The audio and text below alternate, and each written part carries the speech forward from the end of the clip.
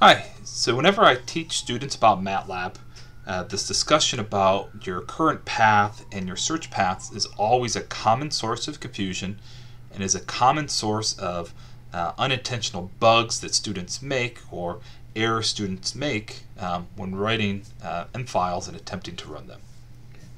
So I just started MATLAB, and so by default, MATLAB places me in this directory. Uh, so this is uh, root, subfolder home, and then Pollute.js. Okay, so Pollute.js, okay, within my home directory, this is the current folder that I'm looking in. If I click on this arrow, I can see all of the directories within uh, this folder. Okay.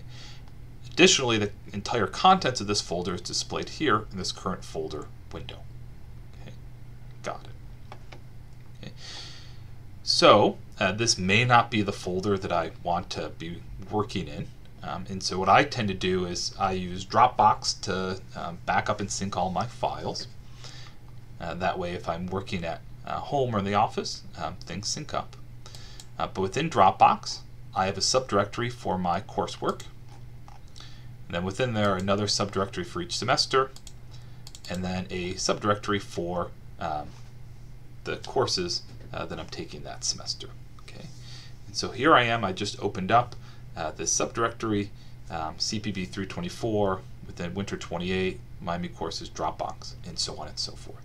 Okay, so that is my current folder. Okay, and then displayed in this uh, current folder window is the contents of uh, that directory. Okay, excellent. Okay, so now when I'm going to go to create a script. Okay, so if I click New Script, and I do something simple, such as a variable assignment. Okay, and so um, the purpose of this is what we're trying to look for here is issues or errors in calling um, my desired M file, whether it be a script or a function. And so in doing so, just having a simple program that does something like this, a variable assignment, uh, is beneficial because when I run it, I know what I expect to see, a variable assignment of x equals 10. Okay. This way, if that file doesn't run, I know the issue is me calling the file and not some bug uh, within um, the file itself. So I'm going to you know, have a simple variable assignment, okay, and I'm going to click Save to save it. And by default, when I save it, MATLAB's going to, um, by default, try and save in my current folder. Right, so my current folder is CPB324, um, and so here it is, uh, CPB324.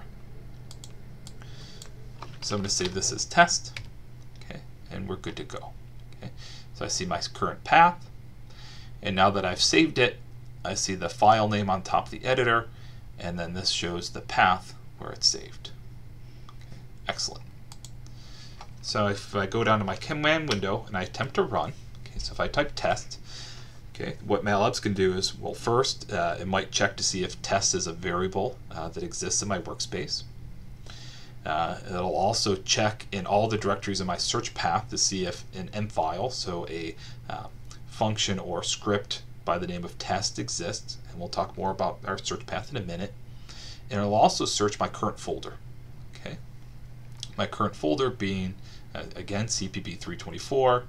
Here I display the contents and I see the test uh, is listed there. So if I run it, um, I get exactly my expected result. Okay, excellent. Okay, so okay, that's in CPB 324. Um, maybe an attempt to be organized. I would rather be in this chapter 2 subdirectory that was there. Okay, so I just double clicked it to open it up. And so now my current path has been updated to chapter 2.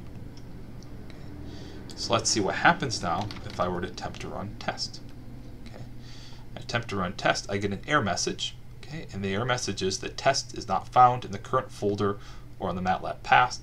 Uh, but since it's not too far away, it's actually smart enough to tell me uh, that it does exist and where it exists. Okay, and so the issue is this file is saved in this uh, directory, but my current folder is now the subdirectory chapter 2, so it doesn't exist in my current folder. Um, so when MATLAB goes to look at my current folder or all the directories along my path for the existence of this file, it doesn't find it. It doesn't exist, so it doesn't run. Okay. So very common mistake I find with students is um, they try and save and edit their files in a different path, uh, possibly in an attempt to be uh, more organized. Um, or if they download one of my files from the web, it often gets stored in some default downloads fol folder um, that isn't their current directory that they're working in, um, and it's not along their path. So even though they can open it in their editor, um, play around with it, um, it'll cause um, issues in that it's not in the, the current path. Okay, so if you get an error message like this, uh, the thing to check would be, would, you know, when I look at my file, is it in my current path? Um, if not, then you need to navigate, right? And how you navigate to it is uh, just intuitively by, by clicking. Okay, excellent. Okay, you might see other error messages like this. This one's actually pretty good. Um, so if a file was saved in my downloads, um, let's see, I might actually have one. So if I try and open some recent files. Um, so if I go open, and let me try and go all the way back to my downloads, I must have um, some files saved somewhere. Okay, uh, this file surface tension.m. Okay. Okay, so if I open this up, uh, this file is saved in you know, download surface tension. Okay, and so even though I opened it, right, the editor's not you know, in the same location as my current path. Okay, so even though I just downloaded it, I'm looking at this file. If I attempt to run it, okay, okay, I'm going to get an error message that I have this undefined function or variable surface tension.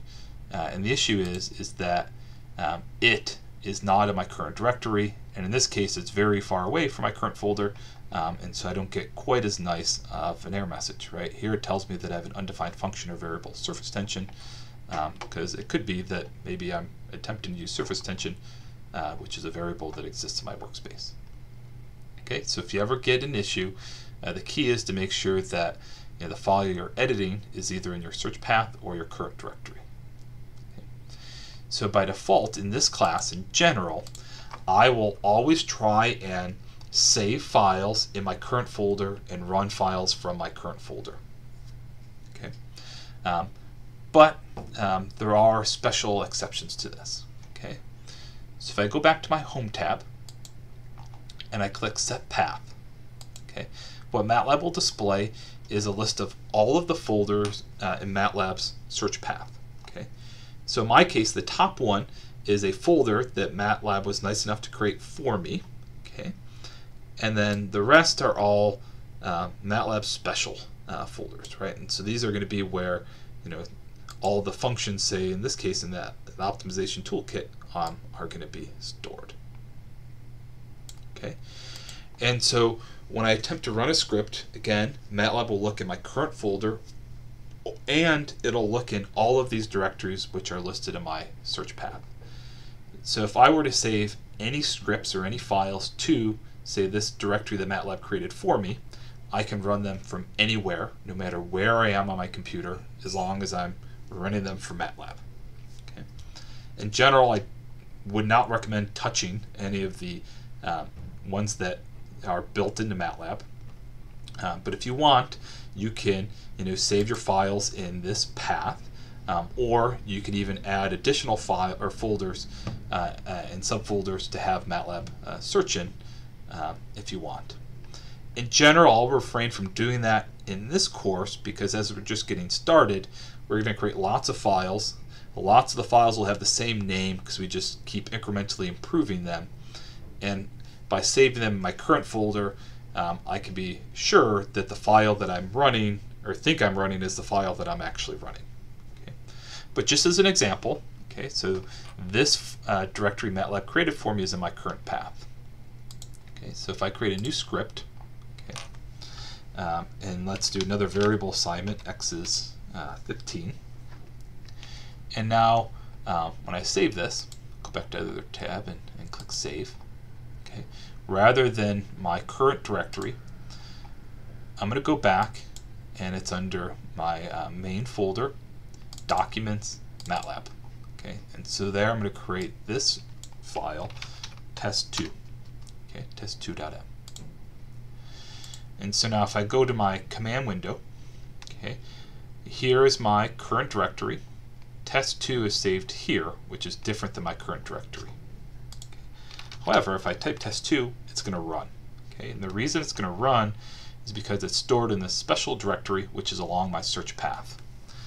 And so then no matter where I am, no matter what current folder I'm in, um, MATLAB will still search that directory to see if that file exists. Okay, so this could be very useful uh, if you develop some um, very nice functions that are going to be used um, for a wide range of applications. Uh, but in general, for the purpose of this course, I am not going to use it uh, just so that I don't cause any confusion or issues as we build up our programs. Okay, but do know that it's there. Uh, do know that um, you can add uh, directories uh, to that path if you would like, and that could be quite handy and powerful um, after you've you know graduated from this class and are a MATLAB ninja in your own right, or just as you become more comfortable with how MATLAB works.